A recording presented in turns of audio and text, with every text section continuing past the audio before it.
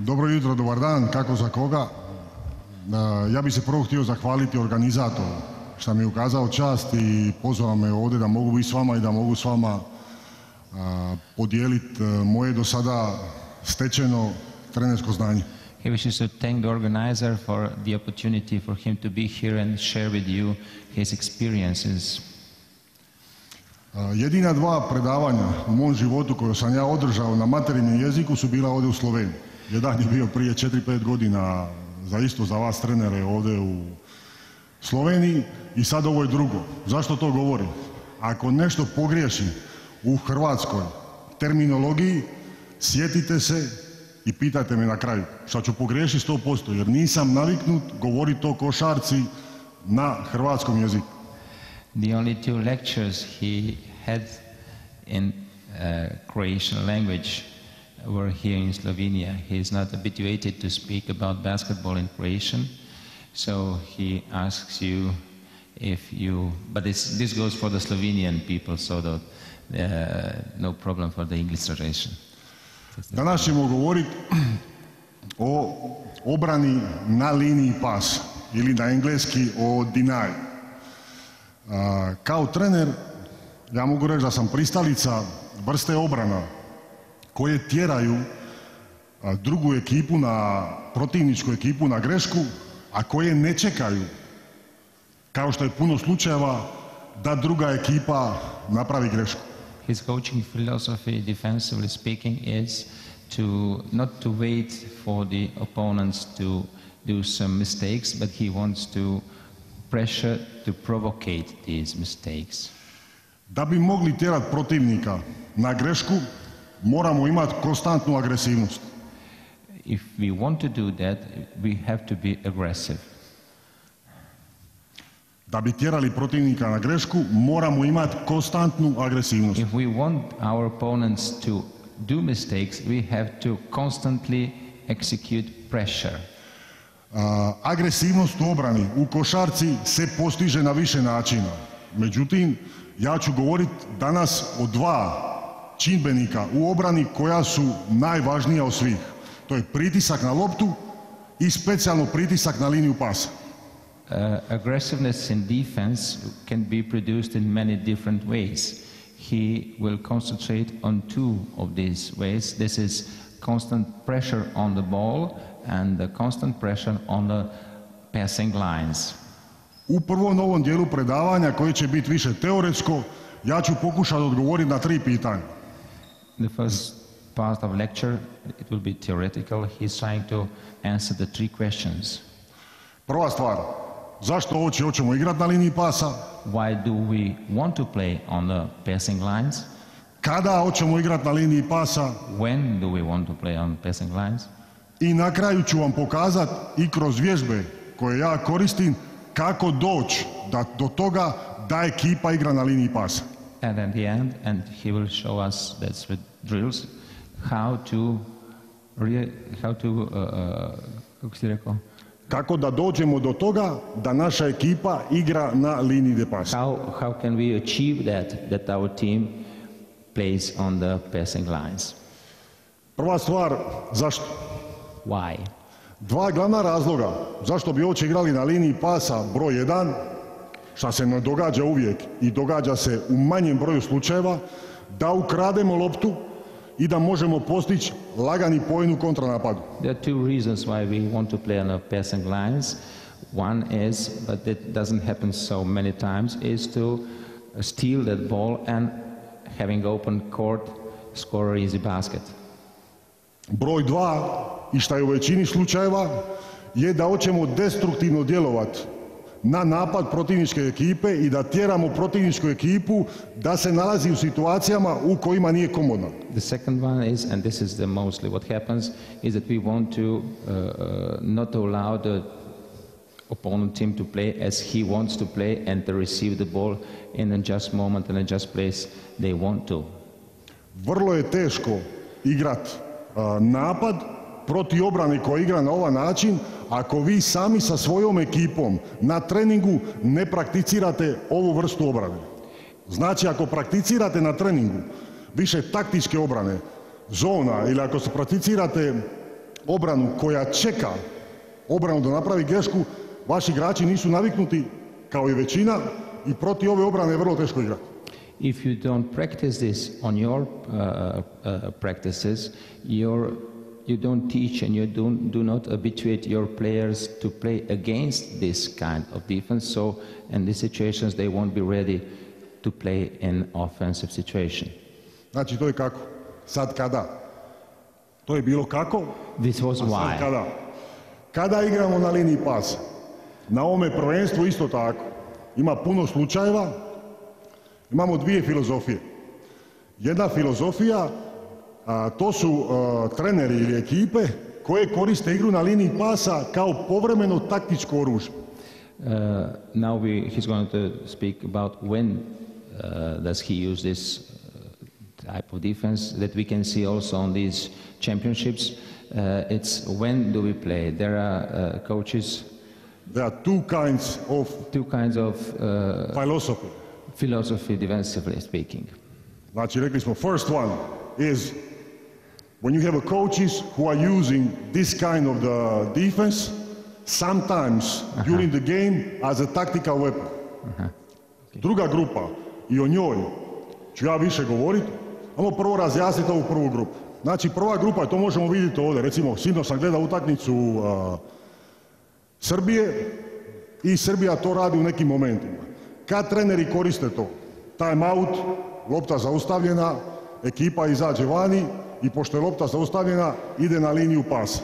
So uh, there are coaches that sometimes use this kind of defense, as he said, uh, the Serbian team, also on the yesterday's game, after the ball is stopped, for example, at the timeout situation, and then they go on the passing line. Izvođenje lopte sa strane ili iz auta. On inbound passes, side or bottom. Ili trener odredi prije utakmice, druga ekipa ima izvrsnog playmakera, svaki put kad playmaker da loptu, idemo igrati na liniji pasa da ne može dobiti loptu nazad. Or, for example, if the team has a very good playmaker, whenever he passes the ball, we do not want him to receive the ball again, so we play on that line. I drugu vrstu imamo trenerske filozofije koja igra obranu, da konstantno igra na prvim linijama pasa.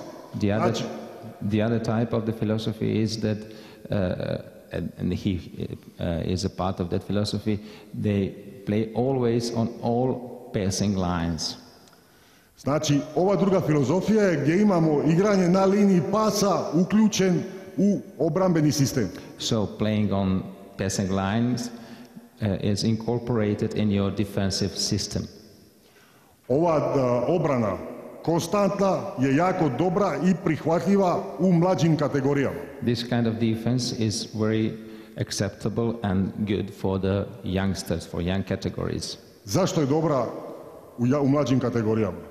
Why is that so?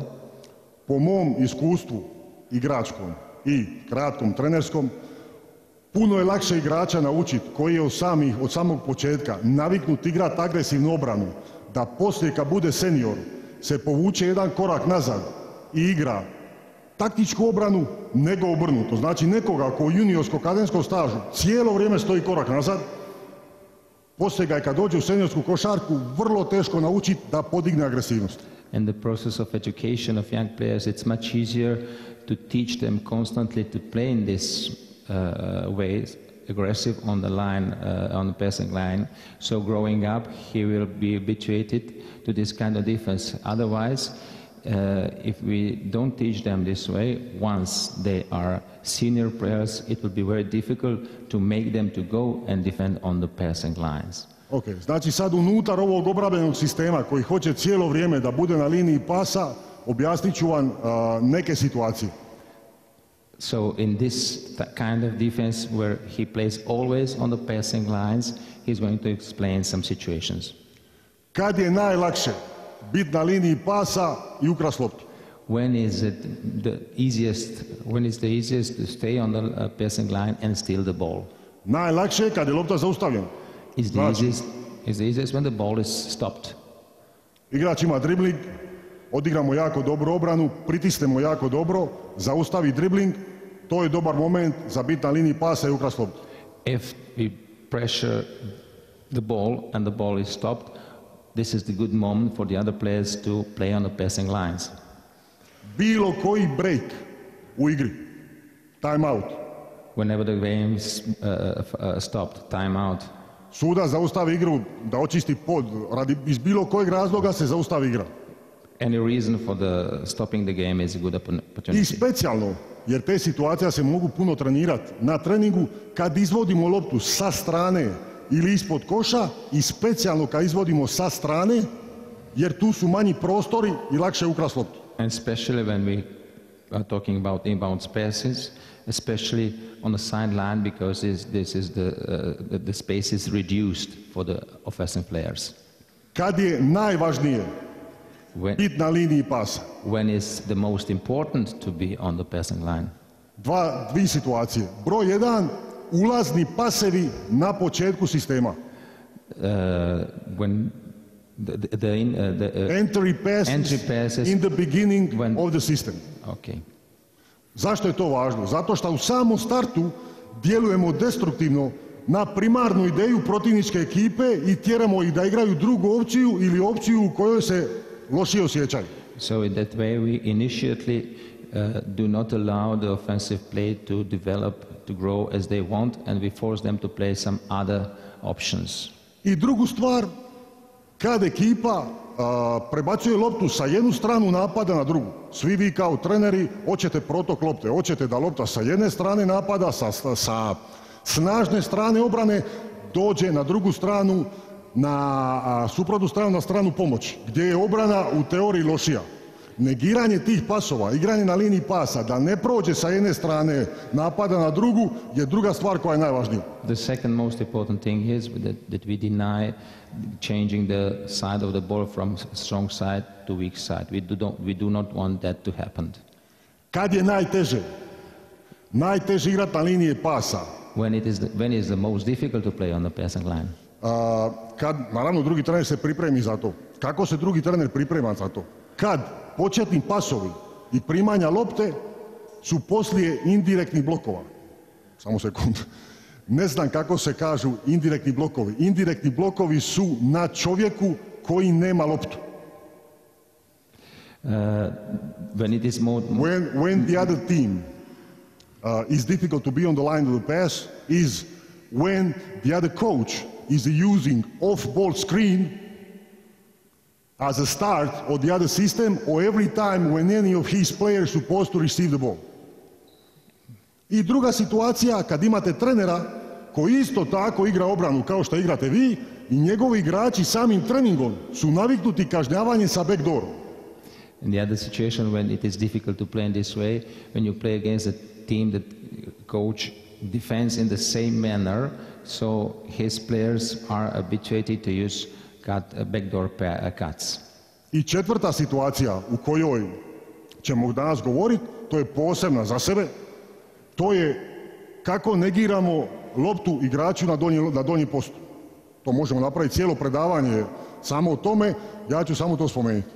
And the fourth situation is how do we deny the pass to the low post? It's, there are many options, but he is going to present his one.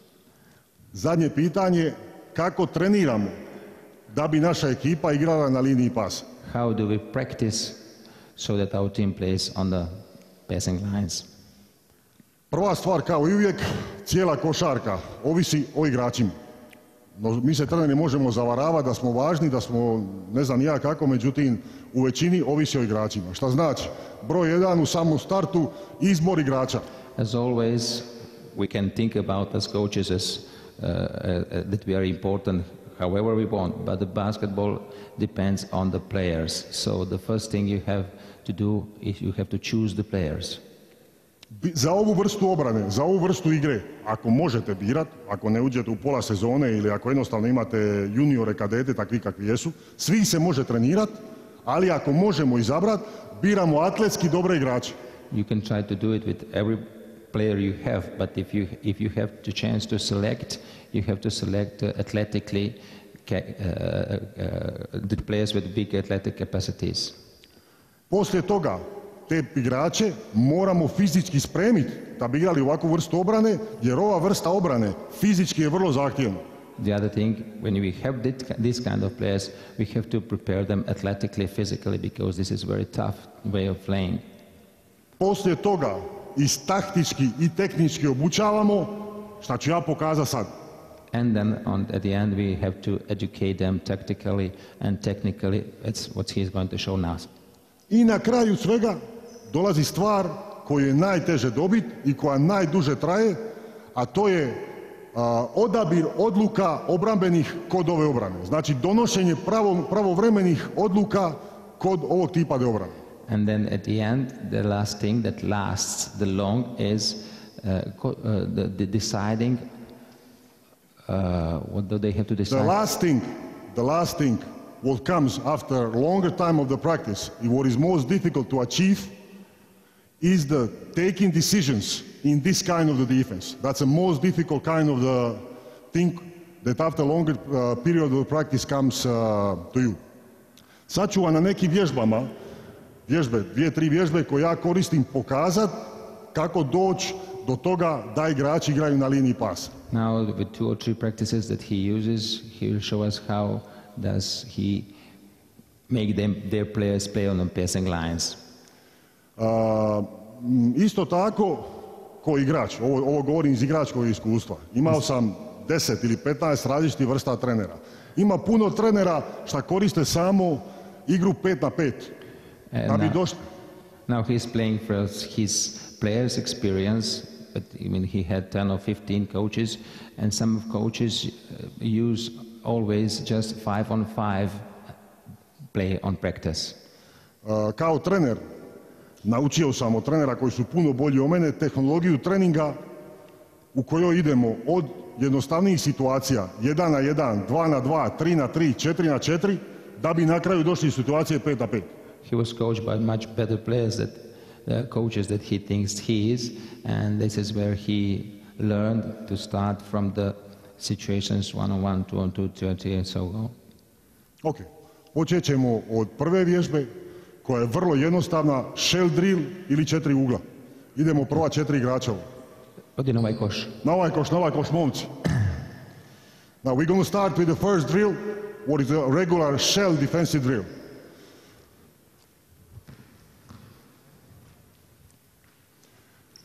Ja ću koristiti ovu vježbu zato što ova vježba nije fizički zahtjevna This drill is not so uh, physically demanding, i da bi mogao vama, a ujedno tako i igračima, pokazati neke tehničke i taktičke individualne detalje. and he's going to use it to show us some technical and tactical details uh, uh, for the players to move. Ovu vježbu možete isto tako koristiti, sigurno je koriste puno od vas, da bi se počeo trening, da bi se zagrijali ili kao uvod prije bilo koje druge vježbe. This can be used also as a warm-up drill before anything else. Prvu stvar, da bi mogli uopće govoriti o bilo kakvoj vrsti obrane, ja moram govoriti o obrambenom trokutu. The first thing he wants to talk, and if we want to talk, talk about any kind of defense, he's talking about triangle, defensive triangle. Znači, u recimo 75%, 80% slučajeva obrambeni trokut, daj mu loptu molim te. Ja ću, ja ću igrati samo sekund na tom mjestu. Obrambeni trokut koji koriste većina trenera je i ovaj. Igrač kojeg čuvam, igrač sa loptom, moj obrambeni trokut je ovaj. So this is the defensive triangle that most coaches use. A, ovo, ja da bi lakše objasnio igračima, ja, ja ovo zovem otvoreni obrambeni trokut. To explain it eas- in easier way to the players, he calls this open, open stance triangle. Da bi igrali na liniji pasa, ne možemo koristiti ovaj trokut, nego moramo koristiti ono što ja zovem zatvoreni obrambeni trokut. Što znači iz ove pozicije u kojoj smo paralelni i u ovoj poziciji dolazimo u ovu poziciju na liniju pasa. Znači, u istoj poziciji, ista razdaljina kao i otvoreni e, obrambeni trokut, imamo zatvoreni obrambeni trokut. If we want to play on the passing lines, we cannot play in par- parallel stance, open stance. We have to, uh, what he calls it, close, closing stance. Isto tako, u toku ovih idućih vježbi ja ću vam pokušati objasniti koje su bazične greške koje igrači čine kad igraju obranu. He is going to emphasize also the classical mistakes that players do while playing defense. Ovdje isto tako imate trenere koji koriste dvije vrste tehnike individualne da bi došli na liniju pasa. Jedna je ova koja je standardna i koju ja isto koristim, međutim kako ja živim u Španjolskoj, u mlađim kategorijama ima puno trenera koji koriste ovu. Znači oni stoje ovako. two philosophies of ho- how to, how to achieve this position.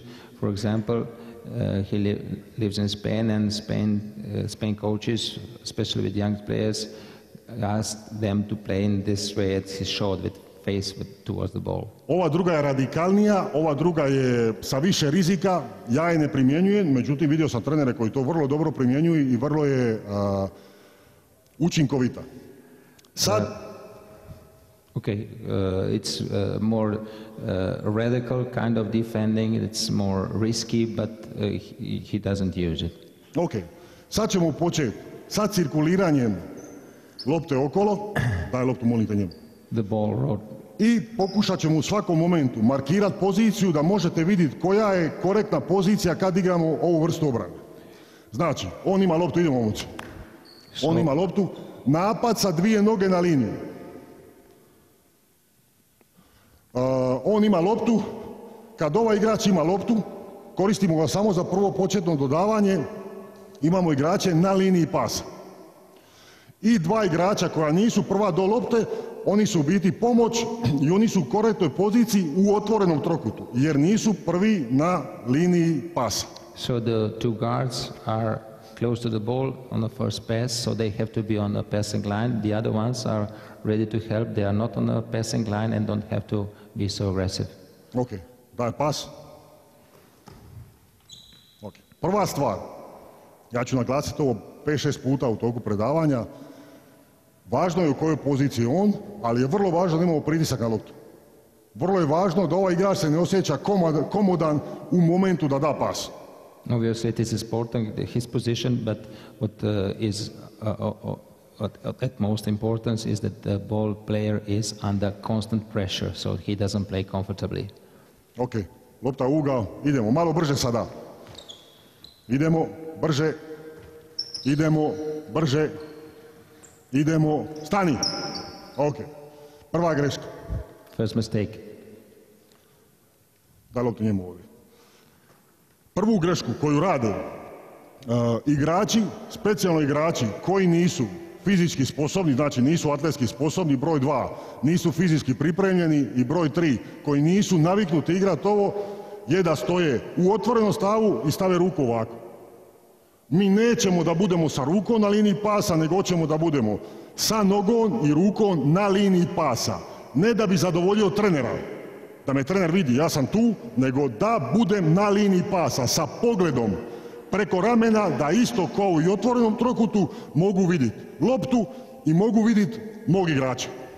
Idemo. So the common mistake that is probably because the player is not aggressive enough, is not physically prepared enough, was that vi kako agresivno naprijed, uh, is that uh, he puts only the, the hand on the line on the position, but coach wants even to step on the line of passing line. Dobar, obrana napad, idemo, promijeni.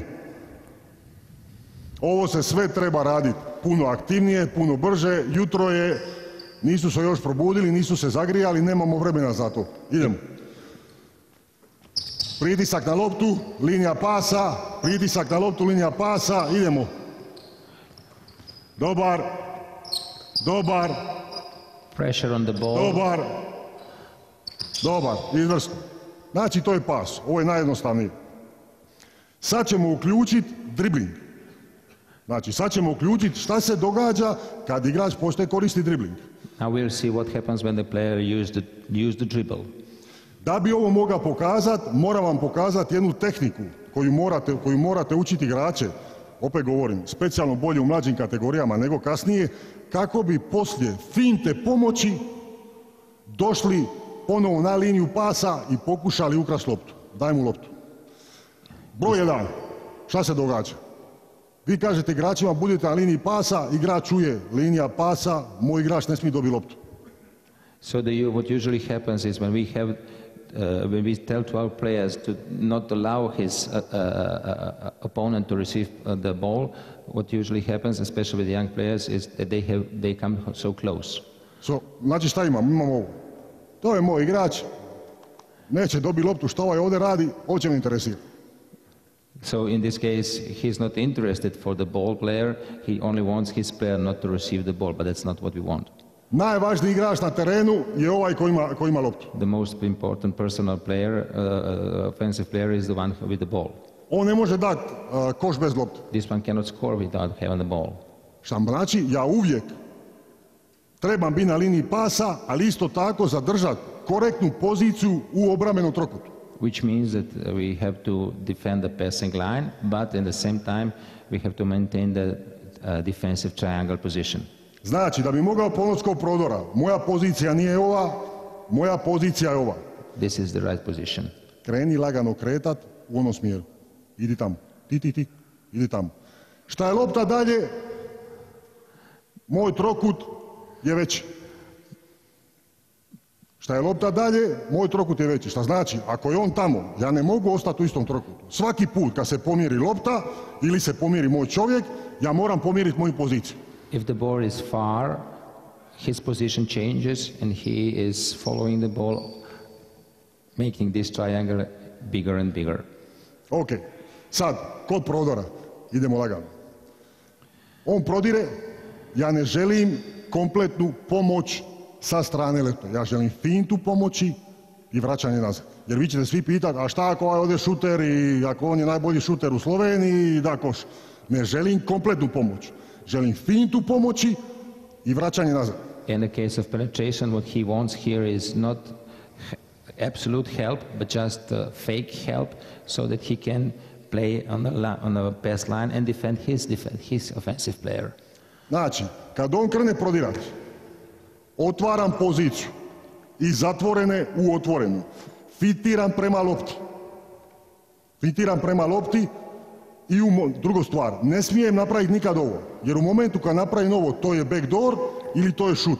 U svakom momentu moram vidjeti lateralno, moram vidjeti loptu i čovjeka. Fintiram, dajem pas, s ovom rukom se vraća liniju na pas i dolazi u poziciju. Idemo ponovo. So he showed us how. Znači, ne radimo ovo i ovo, nego radimo fintu s ovom rukom jer je brže za, za uzimanje lopte na liniju pasa i poslije se vraćam u korektnu poziciju. Idemo ponovno. So from closed stance, he just makes a pivot step. Finta, na liniju pasa i s loptom u korektnu poziciju. Idemo. Od početka. Napad sa dvije noge na trici.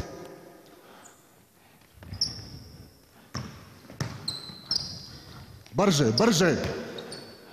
Dobar, idemo. Brže, dobar. Brže, dobar. Stani. Uh, ovo ovdje se trenira 3, 4, 5 mjeseci. Ovo ne može doći u jedan dan, ovo ne može doći u semicu dana. Što znači treba dugo trenira da bi se ovo postiglo. This is to practice months, not few, few, few days, not few weeks. This is, it takes three, four months for the players to play it well. Što znači ovdje možemo vidjeti klasniče um, greške koje rade igrači koji nisu trenirani i naviknuti na to. On, u uglu, kako se zoveš? We see the mistakes because they are not habituated to play in this, in this manner. Tilan ovdje radi grešku i, prije, poslije toga je visok igrač. Što znači viši igrač, manje atletski sposoban, svega je teže naučiti da radi ove stvari. Lopta gore. It is, it's especially difficult with higher players which are not so Rodri. physically able. Ja sam, nagla, Ajde, ajde. ja sam naglasio da ni jednom momentu ne možemo izgubiti ovog čovjeka iz naše vizije sa ove strane. Znači ne mogu napraviti ovo, jer u momentu kad napravim ovo, to je ili šut ili backdoor. The defensive player can never lose from his side his direct opponent. He has to keep him always in sight to be able to defend the backdoor cut. Idemo još jedan put, ajde, sa prodorom.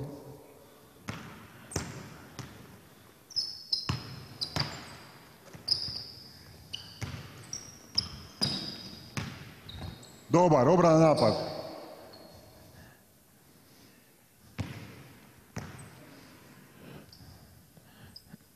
Stani.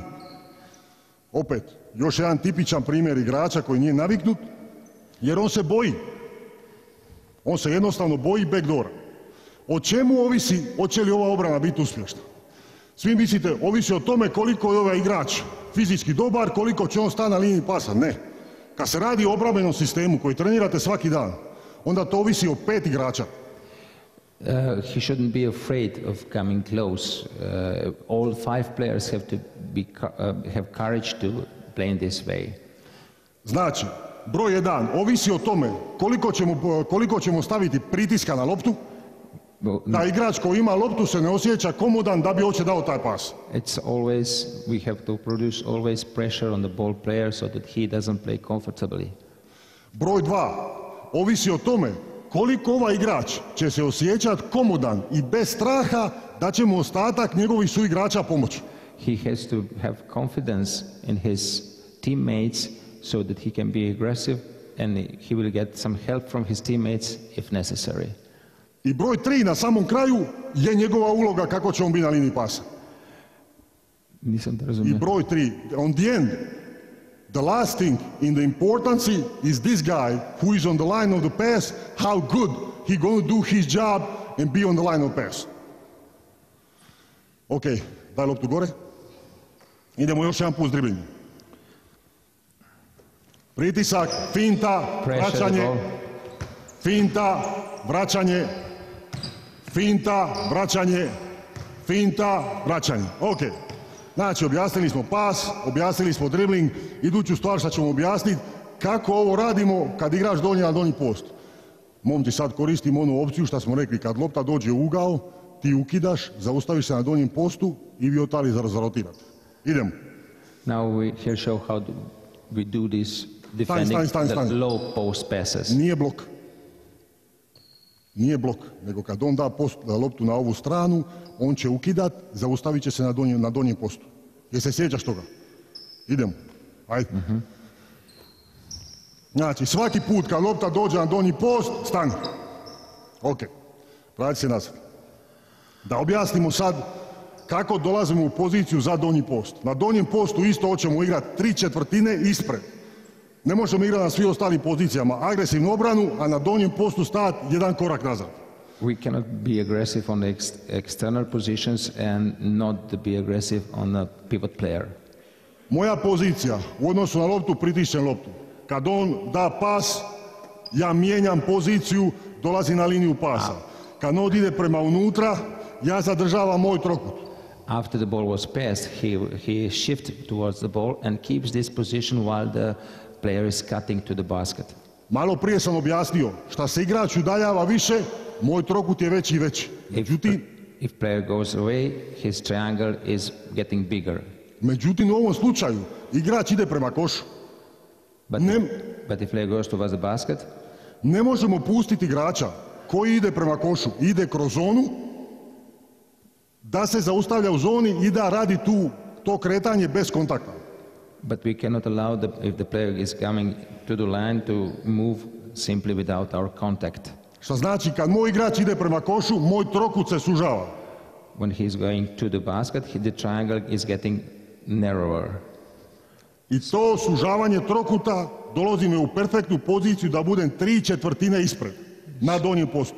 Sad, osnovna greška koju igrači rade ovdje je ovo. Ja sam izad, ruka ispred, trener, This, this ja is the basic mistake. This is the basic mistake.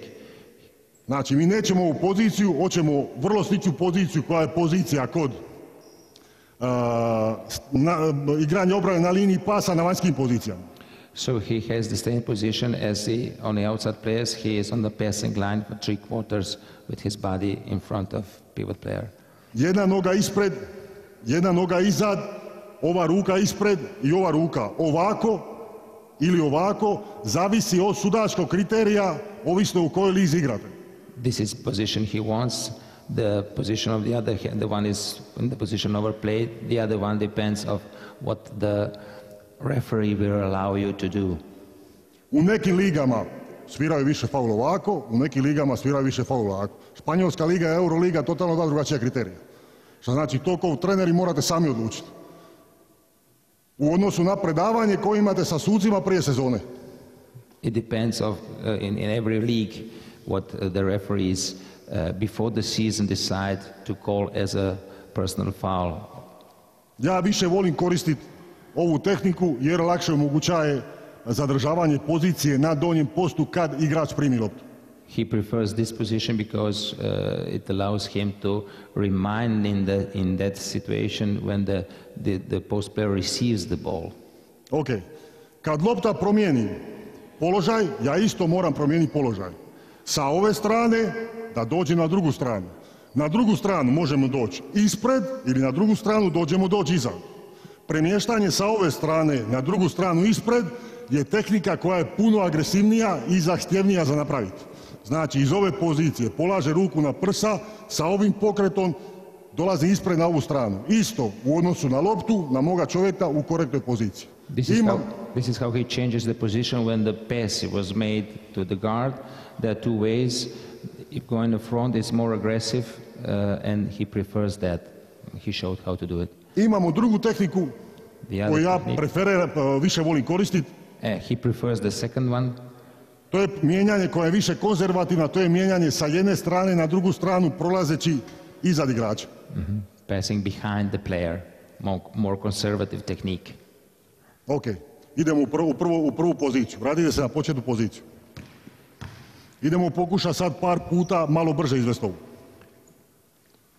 They're trying to speed up a little bit all thing. Dobar, idemo. Stani. Svaki put kad lopta promijeni poziciju, igrač u obrani treba promijeniti poziciju. Every time when the ball changes the position, all defensive players have to change their positions. Svaki put, što znači kad on da pas na ovu stranu, ja ne mogu ostati ovdje. Ja moram promijeniti poziciju. Bez obzira da igrate obranu zatvorenog ili otvorenog trokuta. On mora promijeniti poziciju. Jer ne možemo dozvoliti ovom igraču da utrči ispred nas i u slučaju da najopasniji čovjek na terenu, koji je ovaj sa loptom, oduči ista koš, ja sam prvi do lopte. We cannot allow our player to stay in front of the uh, passing mans because uh, they have to. That doesn't matter if you want to pressure the line or not, but you have to move towards the ball. Ball fly, you fly. Every time when ball changes position, you supposed to change position. Idemo. Lopta ugao, idemo. Dobar, idemo. Tri četvrtine, dobar. Dobar, na drugu stranu, idemo. Dobar. Dobar. Dobar, ok, obrana napad.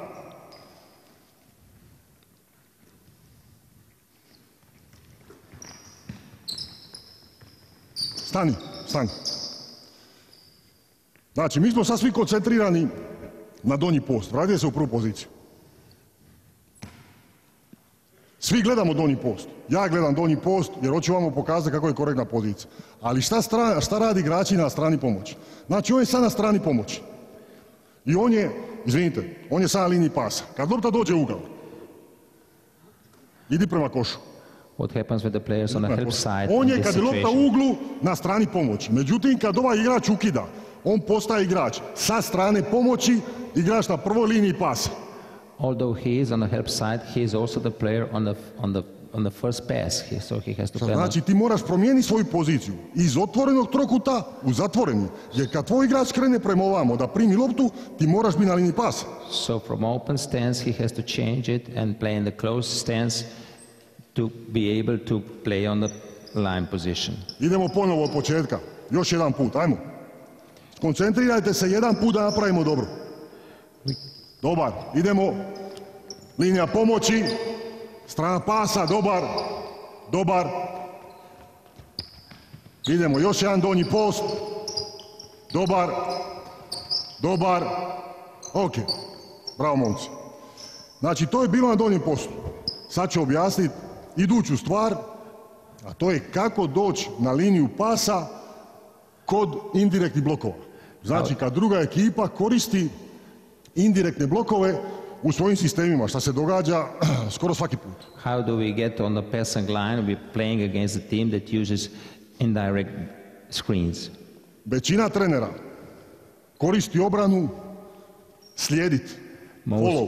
Most coaches follow as their, their players to follow the cutter. Šta je u redu? Šta je konzervativnija puno obrana od obrane koju ja hoću koristiti. It's okay, but it is much more conservative than the one he wants to play. Imamo dva problema s tom obranom. There are two problems. Broj jedan je, ne možemo doći na liniju pasa, jer ako slijediš igrača kroz blokove, vrlo teško da možeš doći na liniju pasa. If you follow your player, you cannot get to the passing line. I drugu stvar, razbijaš obrambeni trokut, što znači više nisi u korektnoj poziciji s obzirom na loptu i s obzirom na čovjeka kojeg ti braniš. And you're breaking the defensive triangle, you are not in a correct position regarding the ball position and your opponent. Sad ću vam pokazati u ovoj vježbi kako možemo trenirati to na početku treninga i kako možemo doći do situacija koje želimo. Now we'll see how to practice this, uh, even, even this one on the beginning of uh, practice. Krenimo prvo sa situacijom kad damo loptu sa strane da ti blokiraš gol. Ajmo. Dobar. Dobar, brže, malo brže, malo brže, ja ću zaustaviti kad ja budem ti ja. Malo brže, idemo. Stani. Lopta ovdje. Vratimo se na početak. Pritisak na loptu, pritisak na liniju pasa, zadržavanje obrambenog trokuta. Pressure the ball, press on the pass line, keep the triangle. Znači, to su tri bazične stvari što hoćemo slijediti. Ostalo sve su izmjene u scouting, koje ja sad ne objašnjavam. Znači, ja objašnjavam obrambeni sistem sa jednom korektnom bazičnom obranom. These are basics he always want to be Šta znači? Njih dvojica su prva, njih dvojica su na liniji pasa. Njih dvojica su dva igrača koja su, nisu prva do lopte i koja su u otvorenom trokutu na pomoć. Druga stvar, kad on dobije loptu, pritisak na loptu, pritisak na linije pasa, stani, stani, stani, stani, molim te, vrati se. Ovaj igrač je, oskače prema lopti jer reta promijenja pozi- poziciju na liniju pasa, ne iza linija pasa, ok. Jesi ti zadnji igrač u obrani? Znači, ovo je jaka strana obrane, ovo je strana pomoći. Zadnji igrač uz out liniju treba biti ispod koša. Znači, sad imamo četiri igrača, prostori su veliki. Kad imamo pet igrača, ovo je korektna pozicija. We are using four players and the space is, is big. Bez obzira je li centar, playmaker i koji je zadnji igrač u obrani, je igrač koji je na strani pomoći. The Na ovoj last, crti. the last defensive man from the help side, is, uh, his position is on this spot under the basket. U slučaju prodora, u slučaju backdoora, u slučaju bilo kakvog dolaska ovdje, moja je odgovornost da pomognem. His responsibility is, in, in any case if of penetrations or cut, to offer his help. Za ovog igrača koji je ovdje, blokira, je nemoguće, idi izađi vanka, da dođe sljedeći na liniju pasa. Zato koristimo tehniku prolaska između. Radi se nas, molim. It would be impossible for him to follow his players, so he is cutting in between offensive players.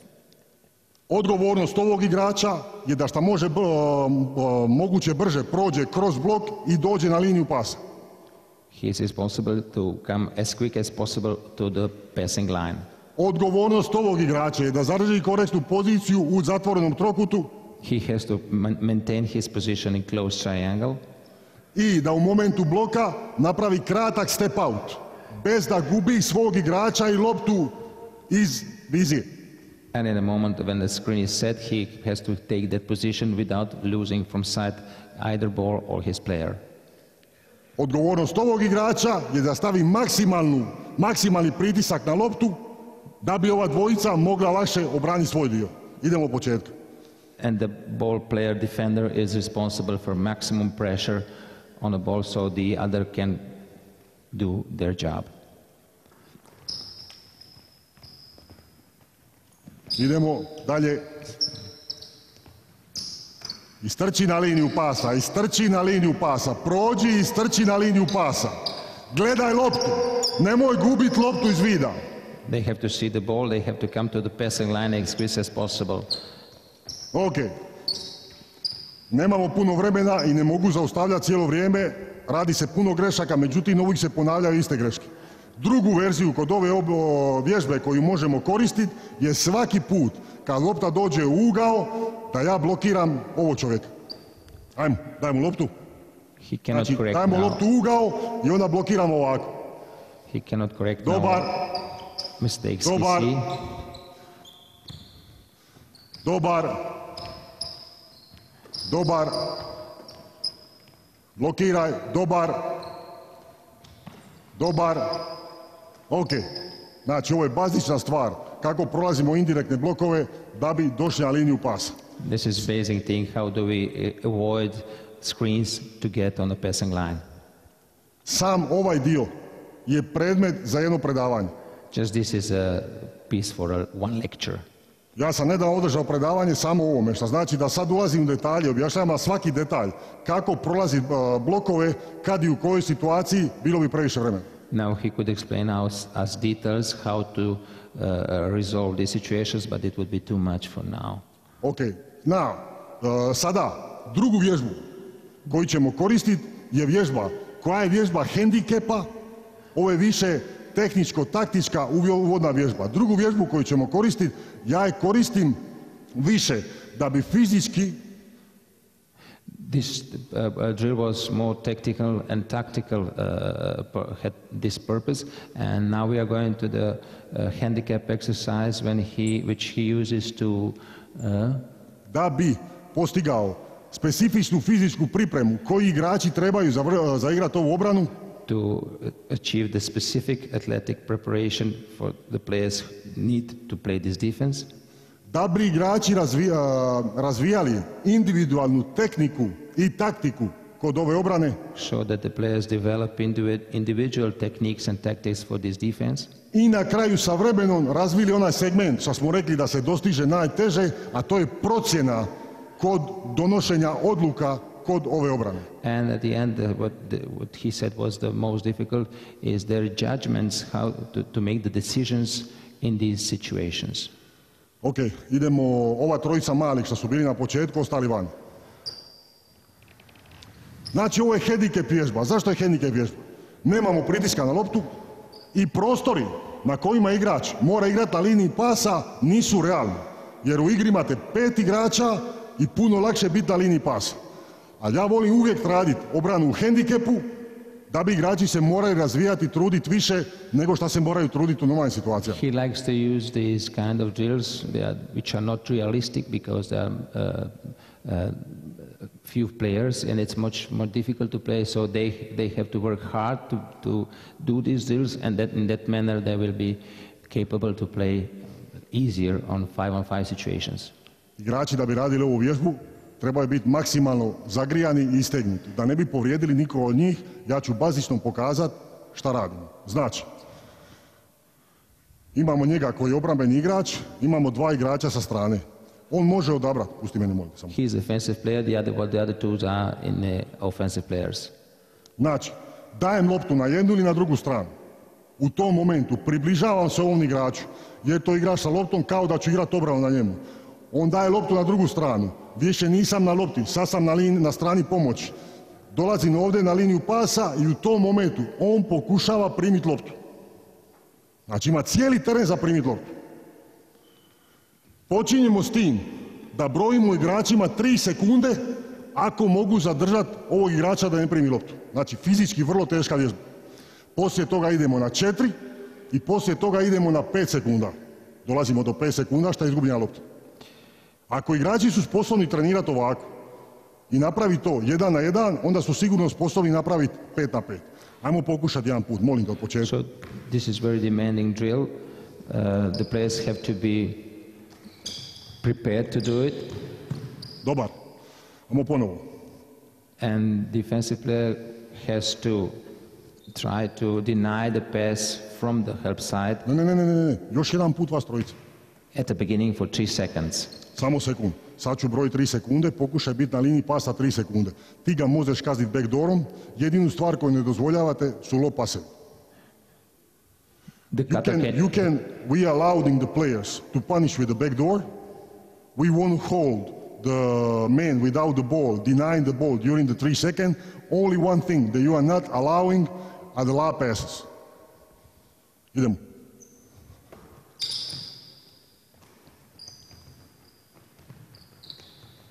Dobar, izvrsno, bravo, dobar. Idemo, promjena, vas trojica unutra. Igrajte sa backdoorom. Igrajte sa backdoorom, tjerajte obranu da radi šta više. Idemo. try, try to use backdoor cuts, try to force the defense to work as much as possible. He said before, if we have five, Dobar, five zamjena, vas trojica unutra, idemo. if we ha- have five players that are able to deny pass for five seconds, Ako imate igrače koji ne mogu koji ne mogu fizički stići da bi radili ovu vrstu obrane, možete čunjevima ili trakama na podu suziti prostor na koji rade ovu vrstu vježbe. we, can limitate the space for this practice if, if, if this is too much for our players using cones or tapes on the court. Finale ove vježbe je da dozvolite igračima nakon primljene lopte da igraju jedan na jedan. And uh, continuity, in continuity of this practice is, of this drill is when the ball, when the player receives the ball, he continues with one-on-one play. U svakoj od ovih vježbi napad treba surađivati da bi natjerao da radi obranu stvari koje su cilj te pojedine vježbe. It's important in these drills for the offensive players to cooperate so that they make the defensive player work hard for the goal of this kind of defense. Ok. Zadnju obranu, zadnju, zadnju vježbu koju ću vam pokazati, koja je najkompliciranija i koju koristim najviše vremena, je 2 na 2 plus 2. The last uh, exercise he's going to show us, and he uses it the most time, and it is most complicated. It is two on two on two, 2 on 2 against 2 plus 2. two on two against two plus two. Ok. Idemo šestorica ova što su bila. Znači, ova vježba je najkompleksnija, jer imamo sve elemente koji su bili u prijašnjim vježbama, All the elements we used in the pre- previous exercises, a isto tako nadodajemo a, element obrane backdoora, obrane prodora i momenta kad igrač sa strane pomoći dolazi na liniju pasa. So we have uh, defen- defense against penetration, defense against backdoor cuts, but also uh, the defense from the cuts from the uh, help side to the strong side. Znači, postavka je ista sa jednim igračem ovdje koji se miče, pomoćni trener ili bilo koji će dati koji će dat prvi pas. Njih dva su samo a, dodavači, oni igraju dva na dva. This when can be assistant coach. The uh, the guards are just passers, and these guys play two on two. Prvu opciju kod ovoga a, šta ćemo napraviti, bit će opcija samo sa pasom. The first option is just with passing the ball. Vrlo je važno da učite svoje igrače napadački da kažnjavaju ovu vrstu obrane backdoorom, da bi vi mogli lakše trenirati i bolje trenirati, a i u slučaju da nađete ekipu koja igra ovu vrstu obrane, da je možete kazniti. It's very important that we teach our players to use backdoor pass uh, cuts so that we can uh, practice the defense against backdoor passes, but also to be able to attack this kind of defense and if we uh, play against it in the games. U momentu dodajemo pas na jednu stranu. Kad on primi loptu, ovaj igrač postaje igrač na strani lopte na liniji pasa. Ovaj igrač odlazi ispod koša jer je zadnji, stra, jer je zadnji igrač na strani pomoći. On radi i pokušaje dobiti loptu. So once we see which is the strong side, which is the weak side, we anticipate on the strong side and we are ready to help on the weak side.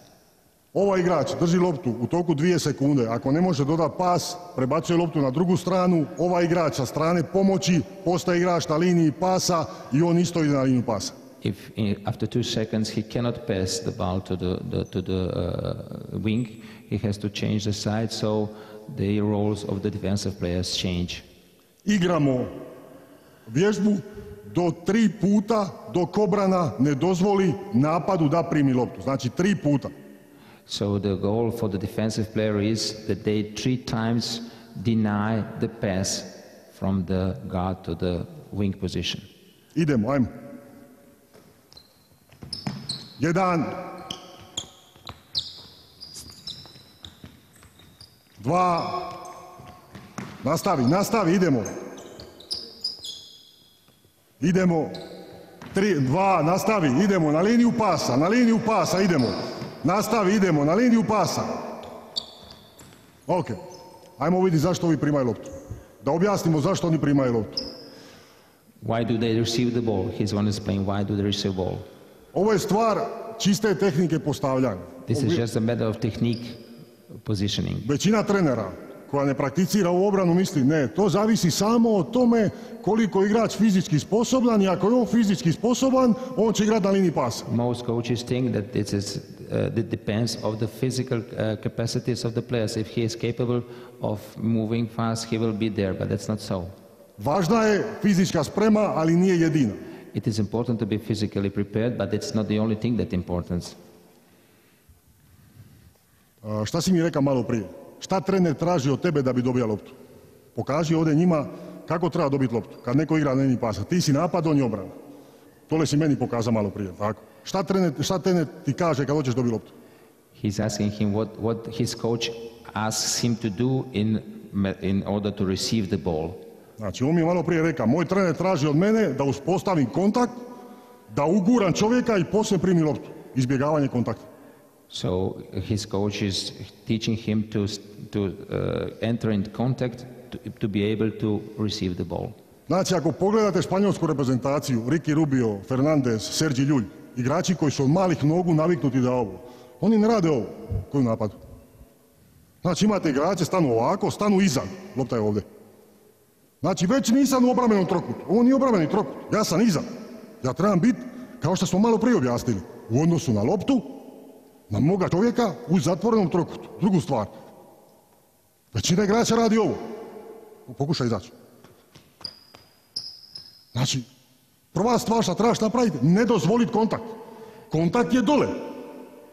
U onoj poziciji na donjem postu. Kad ide prema vani, ne dozvoli kontakt. Izbjegavaj kontakt i budi na liniji pasa. The defensive player has to do, try to avoid the contact in the uh, position in, when the player is going out. Contact, what, where contact occurs is just on the low position. Idući detalj, kad već postignete da su vam igrači na liniji pasa, onda imamo to da igrač svaki put hoće ukras loptu. Idemo. I šta onda radi? Lopta ide, igrač iskače, ispada iz obrane, imamo koš. Tehnika na liniji pasa je nikad, težina se ne smije premjestiti na ovu nogu. Težina je uvijek na zadnjoj nozi. The weight distribution is always on the back side leg, so he doesn't fall off the defensive triangle. Ne smijete igračima nikad dozvoliti iskakanje na liniju pasa, jer to svaki put je zice. We must not allow allow our defensive player to try to inter- in- intercept this pass, so in this uh, way they cannot defend cut. I zadnji moment je u momentu kad dolazim na liniji pasa, ako nisam uspio ukras loptu, lopta prolazi, da se vratim u jedan, jedan na jedan. Ova sama procjena, to je ona procjena o kojoj ja govorim, koja dolazi naj, na najveći period. Kad ukras loptu, kad se vratit u solidnu poziciju 1-1. Najteže je postići balans, korektan balans između biti agresivan i u isto vrijeme ne ispadat obrani i biti solidan 1 na 1. So this is a tough part for the player to make this decision how much pressure can he produce on the passing line not to allow the, uh, the pass but be able to defend his player when the pass is realized. Zadnju stvar što danas hoću objasniti, to je šta se događa kad neko nas probije na backdoor, vrlo kratko. Ja znam da sam produžio, nisam očekivao prevod i produžilo se. zadnju stvar šta ću objasniti, šta se događa kod prodora ili šta se događa kada se neko probije backdoor. What happens, he'll show us the last thing, what happens with the penetration or with back, back, Daj mu loptu. backdoor cut. Uh, ti si na liniji pasa. Idemo samo lagano, nećemo više brzo jer nemamo vremena. Stani na liniju. Koji napad? Ok. Ti si na liniji pasa, idemo, pokušaj dobi loptu. Iskoči, iskoči, ispao si iz obrane. Iskoči, backdoor. U ovom momentu imamo, vraćaš se nazad, znači on pokušaje stići nazad, imamo ovog čovjeka koji pomaže. Većina trenera koristi rotaciju pomoć, prvi pas, vraćanje nazad. U ovom slučaju, kod ove vrste agresivne obrane, on zaustavlja backdoor, on nastavlja i hvata idućeg igrača. Most coaches uh, want the, the defender player who helped and stopped the ball to recover for their offensive player, but he wants the one that recovers uh, after the backdoor cut to continue the movement and change the defender player. Ok, njemu lopta, istu stvar napravi, idemo. Budi na liniji pasa, polako, polako, polako, uzmi loptu, dobi loptu. On se nije vratio u obranu, probi, nastoja zaustavi svog igrača, ista stvar je. On ga zaustavlja i ja nastavljam na drugu, stvar, na drugu stranu da bi uhvatio idućeg igrača. The same thing with penetrations. Zadnja stvar, danas, da moram objasniti još jednu stvar, ova, osim pravovremene, pravovremenog donošenja odluka kod ove vrste obrane, drugu stvar koju je najteže postići je konstanta. The, the other thing that is very difficult to achieve is, uh, uh, besides this the, the, uh, decision making, is the constancy. Konstansi, što znači da ovu obranu ne igramo na 5 minuta, na 10 minuta, nego da ovu obranu igramo uvijek. Znači, s ovom vrstom agresivnosti da igramo uvijek. Od početka do kraja svaku utakmicu. So he wants his team to play in this manner, not few minutes, but from the beginning to the end, all every play, every game. And every game. I to je najteže, to je druga stvar koju je vrlo teško postići. Zbog toga, specijalno kod igrača u seniorskim kategorijama, je vrlo važan rad na motivaciji, na mentalnom aspektu igrača. So, especially with the senior players, very important part of our job is to work on the mo- motivation, physical, phy- physical motivation. A, to bi bilo sve od mene za danas. Ja znam da ovdje ima puno informacija, ja znam da su ovo stvari koje se možda, neke stvari koje sam rekao, koje se možda ne viđaju svaki dan i da imate puno pitanja. Sto- Stoga ako imate bilo ko- koje pitanje, da ako mogu razjasniti, a, ja sam na raspolaganju. Questions?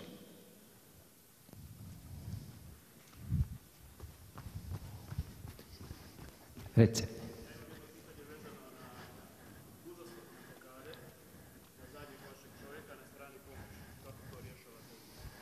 Uzasno, znači to je ona situacija kad radimo blok za ovog igrača, Stagger screen.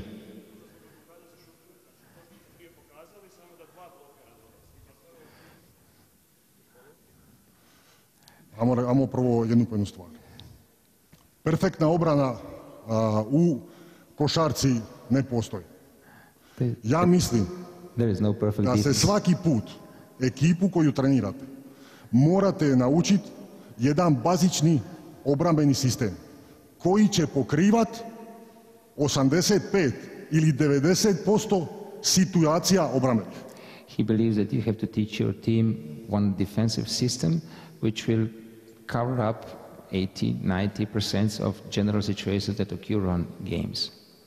Na drugoj strani imate drugoga trenera koji studira vašu obranu i koji će sigurno naći neku rupu u vašoj obrani. The other coach is studying our defense and he will obviously find some weaknesses in it. U tim slučajevima, a vi kao trener morate znati koje su loše strane vaše obrane, You as a coach have to know, to realize which are the weaknesses of your defense. u situacijama kao što je finale prvenstva Slovenije kadetsko, Europsko prvenstvo za juniore ili finale play-offa, kad već imate ekipu koja zna vaš obrambeni sistem, In a special situation that it towards the end of the competitions when the team knows how to defend, u pojedinim situacijama možete, možete napraviti promjenu po skautingu. Ali ne možete svaki dan mijenjati po skautingu i braniti drugu ekipu po skautingu. Nego možete napraviti jednu ili dvije promjene po utakmici, zavisno o protivniku. Depending of your opponent, you can do one or two adjustments depending who you play uh, uh, uh, a counter, but you cannot change every day your principles. Na gradnju na vaš već postojeći obrambeni sistem. You have add something to you, the system that you have already built that exists. Nije bitno šta radiš, nego je puno bitnije kako radiš. It's not that- important what do you do, then how Hoćete vam? do you do that? A, jedinica ovdje s loptom. Jedinica ovdje s loptom. Dvojka u uglu. A, trojka ovdje, četvorka ovdje. Ti si višak. Ovo je pričaka sa strane.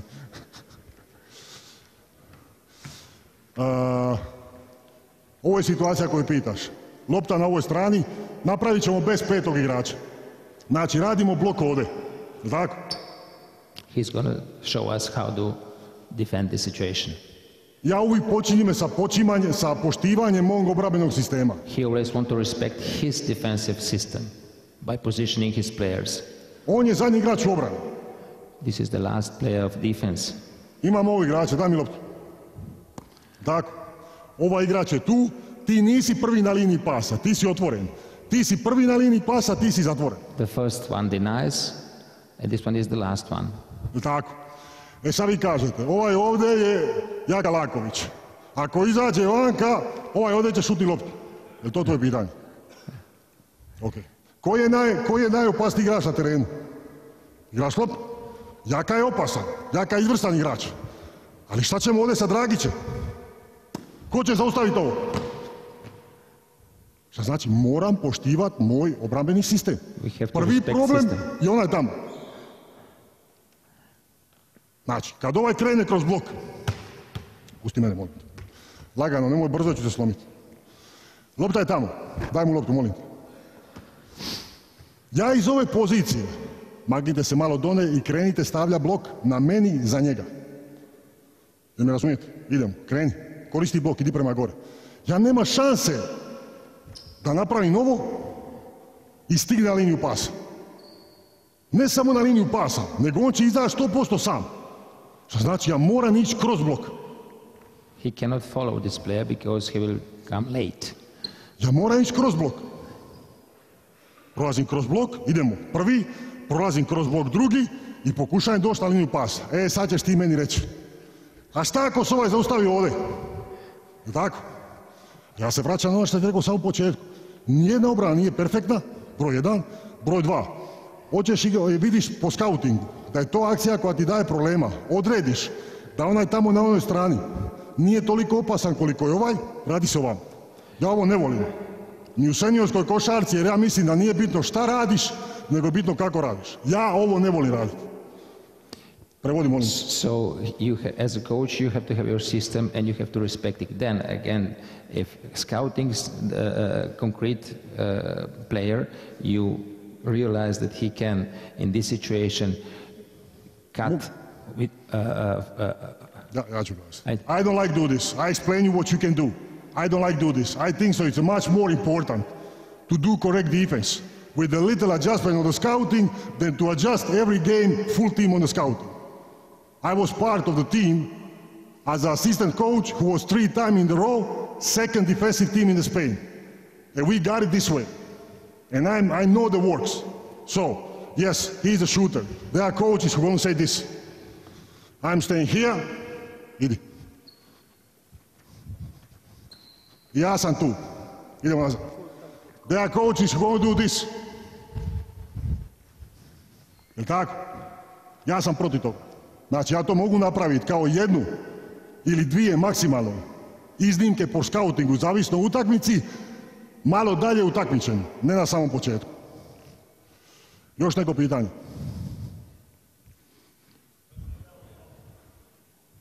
Samo sekund, odgovorit ću.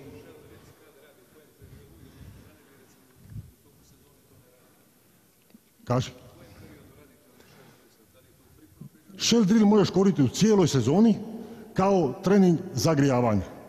Isto tako možeš koristiti shell drill, 4 na 3, staviš tri igrača u obrani da bi forsirao konstantnu rotaciju i fizičko pripremanje igrača. Ima tisuću verzija shell drilla. When- poslije predavanja ja ću ti objasniti. When does he use shell drill? Jean responds always during all season as a warm up, warming up before the practice.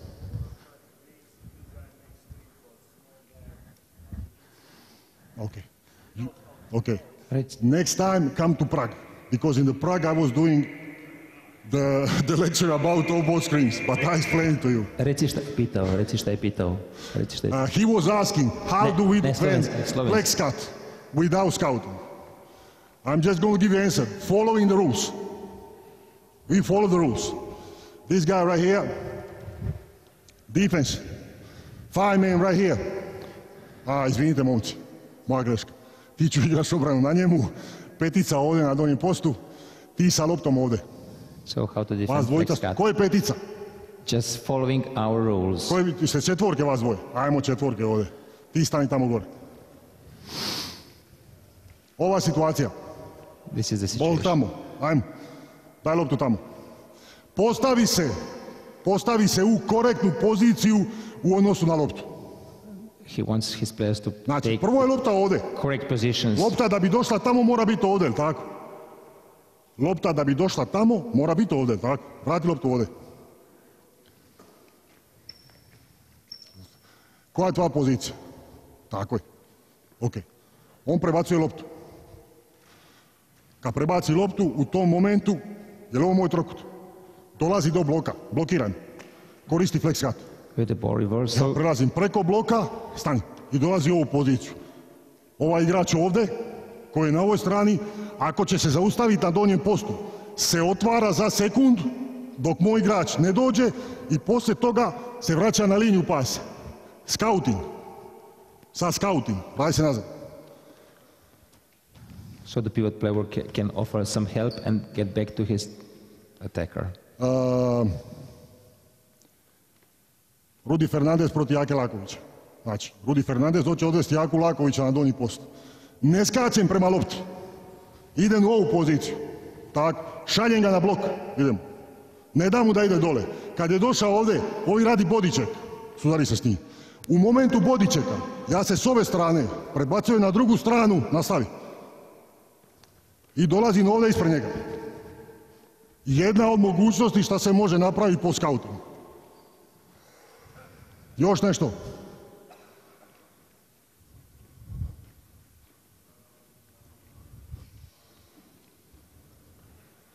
Kako braniti? Isto je, isto je to isto problem. Znači, po pravilima, ja opet govorim pravilima gdje mi igramo, ne možeš raditi body check ispod bloka.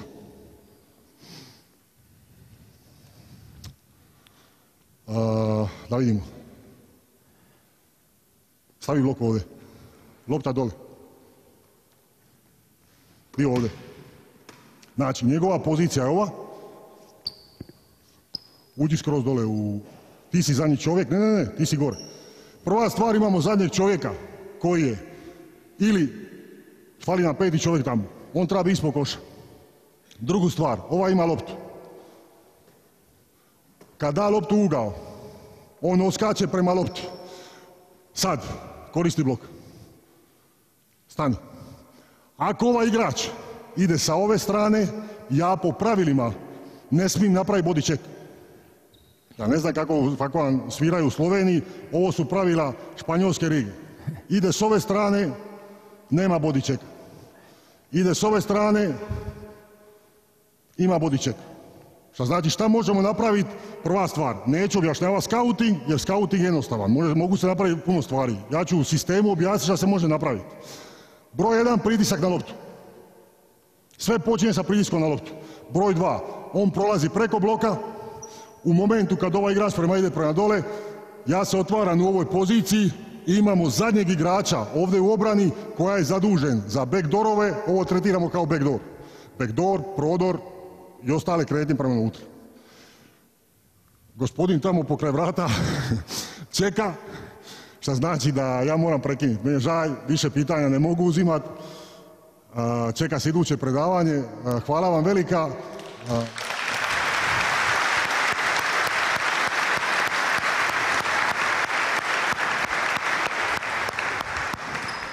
Ja ću biti tu u toku cijelo jutra, spreman sam ako bilo treba šta objasniti da i dalje objasnim. Momci, hvala. Dođite ovdje.